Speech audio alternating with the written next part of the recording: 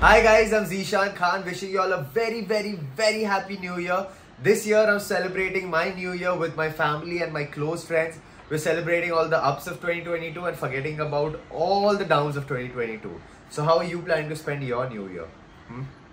Also, my resolution for new year uh, is to show my versatility as an actor, uh, to keep improving uh, every day and to entertain my fans in the best way possible, the Z Squad. I love you guys.